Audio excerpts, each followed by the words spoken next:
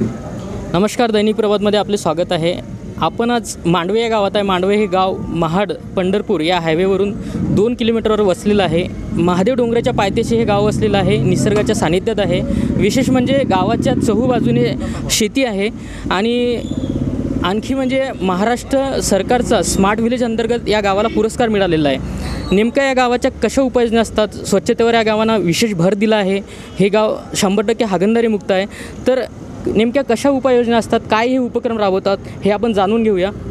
Sir तुमचं दैनिक प्रवादमध्ये स्वागत. काय आपलं नाव आहे आणि नेमक्या कशा उपाययोजना तुम्ही गावात राबवता? आपलं नाव सांगा. बाळवांना भोसले ग्रामविकास अधिकारी ग्रामपंचायत मांडवे. नेमक्या कशा उपक्रम तुम्ही राबवता गावात की तुम्हाला स्मार्ट विलेजचा पुरस्कार मिळाला जेणेकरून बाकी गावांनी हे अ, राबवू शकतील त्यांच्या गावात? कसं आहे आम्ही सरपंच माजी सरपंच आणि गावातील ग्रामस्थांनी आम्ही सर्वांनी मिळून गावात स्वच्छता आणि शंभर टक्के हागंदारी मुक्त शोषखड्डे आणि वृक्ष लागवड मोठ्या प्रमाणात केलेली आहे. आणि वनराई बंधारे असं पुन्हा ओढा नाला सरळीकरण अशी भरपूर कामं आम्ही केलेली आहेत. गावाला स्मार्ट विलेजचा पुरस्कार आहे. त्याची प्रोसेस काय असते हे पण आपण जाणून घेऊया. काय सांगाल सर कशी प्रोसेस असते स्मार्ट विलेज अंतर्गत तुम्हाला जो पुरस्कार मिळाला त्याची? गाव नाव सांगा. माझं नाव कुमार पाटील. गाव संपूर्ण स्वच्छ करायचं म्हणलं तर पहिल्यांदा गावातील सर्व लोकांची व सर्व पदाधिकाऱ्यांची प्रबळ इच्छाशक्ती असावी लागते. त्याशिवाय स्मार्ट ग्राम किंवा स्वच्छता अभियान यशस्वीपणे राबवलं जात नाही. ह्यासाठी सगळ्यांचं सहकार्य असणं पहिल्यांदा गरजेचं आहे. सगळ्यांचं सहकार्य जर मिळालं तर आपण कुठली गोष्ट साध्य करू शकतो. तसं हे गाव म्हणजे अतिशय किचकट आणि अतिशय गल्लीचं असं गाव होतं हे पहिलं.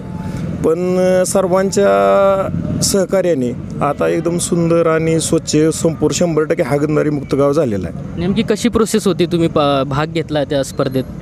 आम्ही ज्यावेळेस या स्पर्धेमध्ये भाग घेतला त्यावेळेस या गावाची परिस्थिती अतिशय दयनीय अवस्था होती.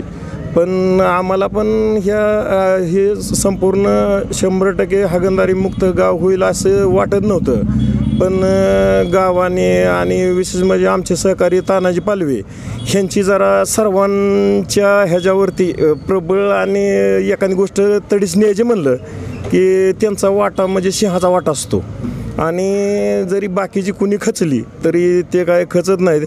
ते तडीस नेल्याशिवाय राहत नाहीत. सोलापूर जिल्ह्यातील हे गाव आहे. या गावाला या जिल्ह्याला केंद्राचा स्वच्छतेचा पुरस्कार आहे तसेच गावाला राज्याचा आहे.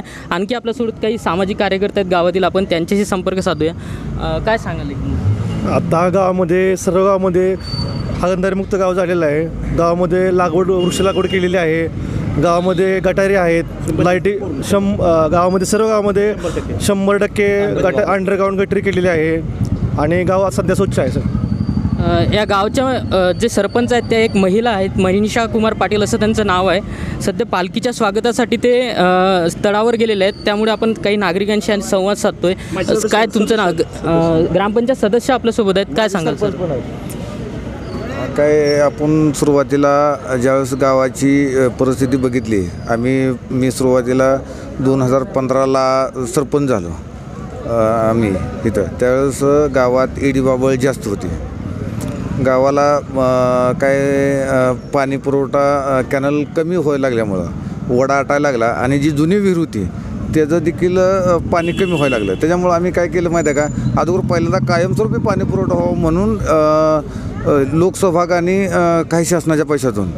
जिथं मूळ म्हणजे कायमस्वरूपी सोर्स चालतो पाण्याचा वाहून जाणारं पाणी होतं कायमस्वरूपी ते अडवून तिथं आपण गावाला पहिलं मोठा डॅम तयार केला तळ तयार केलं पादर तलाव. आणि त्याच्याखाली परत वॉटर सप्लायची आपली नवी विहीर घेतली.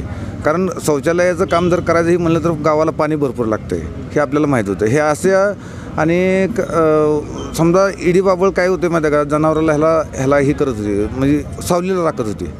तर पहिली इडी बाबळ आम्ही काढले. काढायची म्हणलं तर आधीकर चांगली झाडं लावायला सुरुवात केली आणि नंतर इडी बाबळ काढायला सुरुवात केली. म्हणजे अशा काही गोष्टी केल्या सुरुवातीला की जे जेणेकरून लोकांना थोडंसं अडचणीचं पण त्याचा दुष्परिणाम वाईट आहे तर ही माहीत नसल्यामुळं. ती थोड्याच्या सोयीसाठी ती आड दुष्परिणामाची गोष्ट जवळ बाळगत होती. ती पहिल्यांदा अगोदर आम्ही चांगलं काम सुरुवात करे करायला आणि नंतर त्यांचं ती त्यांना ती पटवून सांगून जी काय असे दुष्परिणाम होणाऱ्या गोष्टी द्या शौचालयाच्या बाबतीतल्या असू द्या एखादी घाणीच्या बाबतीतला जर विचार केला तर आपला गावातूनच जे कॅनल जातो आपला बारका मग लोकांनी तिथंच काय करायचं? तिथंच शेजारी घाण टाकायची हे करायचं. म्हणजे आम्ही डायरेक्ट ते अंडरग्राऊंड करून टाकला कॅनल टोटल म्हणजे एक किलोमीटर कॅनल अंडरग्राऊंड करून टाकला. लहान कॅनल होता ते अंडरग्राऊंड करून टाकला आमच्या ह्याच्यातनं.